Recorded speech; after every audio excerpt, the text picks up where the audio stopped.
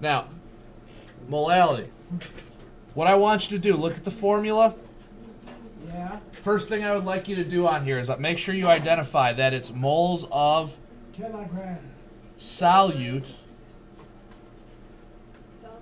kilograms of solvent. Those are two.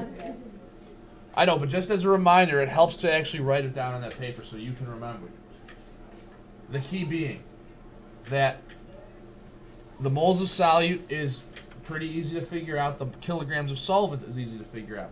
The challenge is simply identifying what's what. So if we look at this, how many grams of KCl must be dissolved in 255 grams of water to prepare a 0.445 molal solution?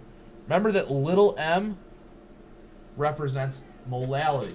So you might want to make a little note of that, that little m is molality and big M is equal to molarity. There is a difference. You have to know the difference. Well, molality is this formula. Molarity is the formula moles over liters. Oh, Alright, we're just trying to, they're all solving for concentration, why would they give you different numbers? Because there's many different ways to represent the So concentration. different? Yes, to a certain extent, yeah. Now, which of these things is the solute? Yes.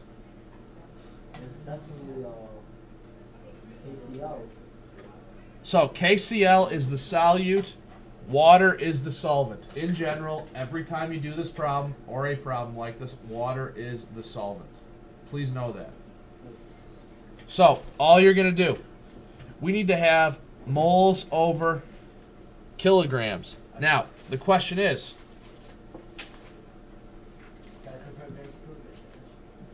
well, the question is here, we have 255 grams of water. That's our solvent.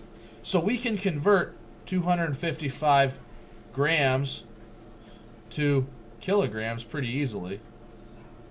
I mean, you could really just move the decimal over, you know, three spots and you get 0.255 kilograms of your solvent. However, what are we being asked to solve for here? We're being asked in this case to solve for grams of KCl. Now, what that means is this. How out of here are we going to get to the grams of the solute?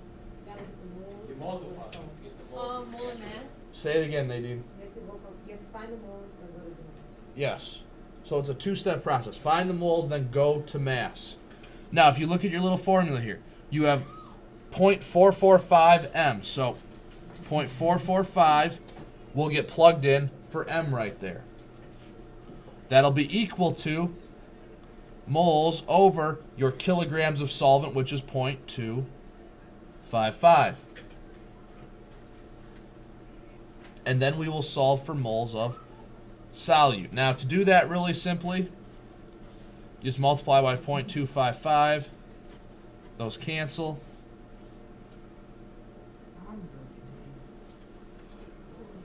And this should come out to be something. What does it come out to be? Numbers.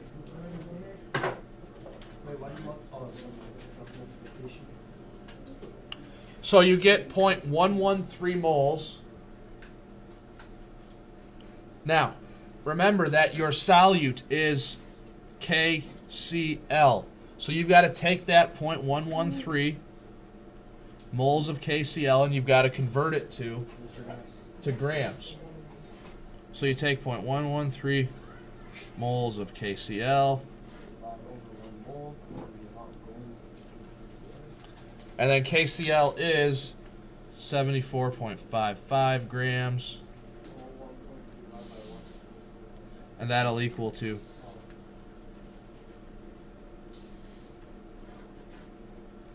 There you go. So that is a molality problem. Yeah. Now these can be presented to you in any way, shape, or form. You might be solving for little m, you might be solving for moles, you might be solving for kilograms. It's just whatever the problem wants. You got to read it, figure it out. That's part. Of, that's the challenge. The rest of it's easy. All right. So that's molality. Let's go down to the next section now, which is uh, percent by mass.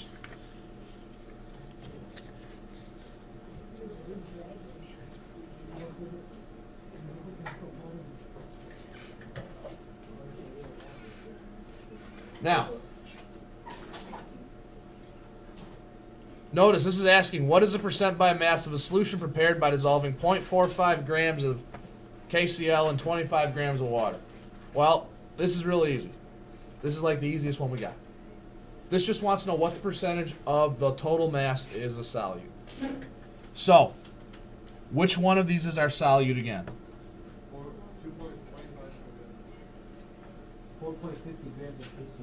That is our solute. Our solvent is always water, every time.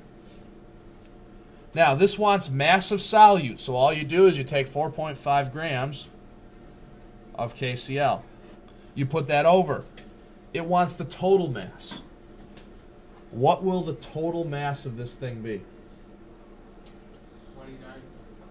29.5, yes, because it'll be 4.5 grams plus 25 grams of the solute and the solvent together, which gives you 29.5 grams. So you do all that, and then you multiply it by One hundred. 100, and that'll give you your percentage of the mass of the solute. It's like two, three. What does it come out to be?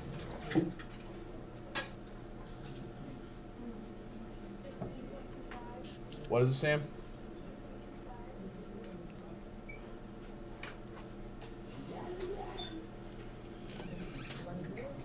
All right. Are there any questions on the percent by mass thing? That's that I feel is is pretty darn straightforward and simple. All you got to do is just figure out masses. Make sure you do the total mass.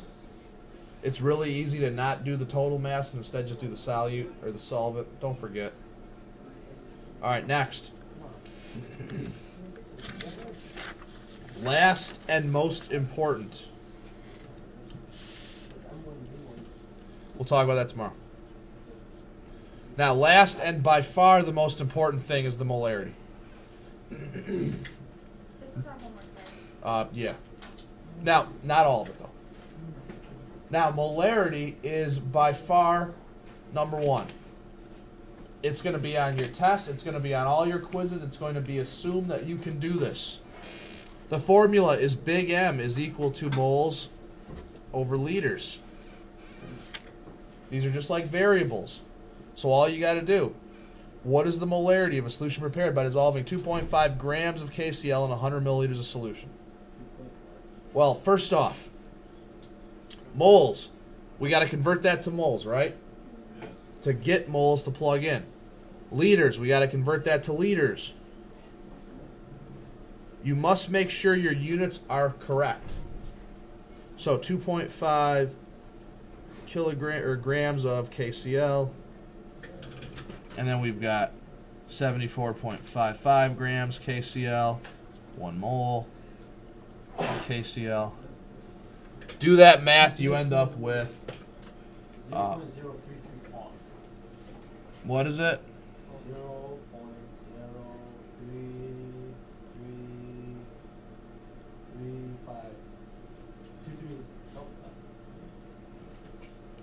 So moles of KCl.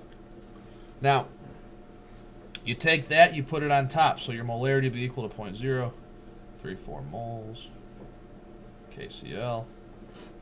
Now, what goes on the bottom? Well, you got to convert 100 milliliters to liters. I hope by now you've established you can just move that decimal over three places, so it's 0.1 liters. What does that come out to be? Um, point three five, three three five. Wait, Mr. Hren, um, what's the unit? Well, now here's the thing. So the unit, the unit is moles over liters. But what we do, what this is actually telling us would be to say we have 0.335 molar solution of KCl. Now the unit is molarity. It's it's a unit as well as a, a formula that you use. So it, when we say we have a concentration, we're saying we have a 0.335 molar uh, potassium chloride solution. Now what this tells us is that for every 0.335 moles of KCl, there is one liter of H2O. So it doesn't seem like it's telling you that much information, but just that little bit, because if you remember molarities, moles over liters, you remember water's the solvent, you're actually able to figure out quite a bit from this simple thing. And you will have to, by the way. So, are there any questions on that? No,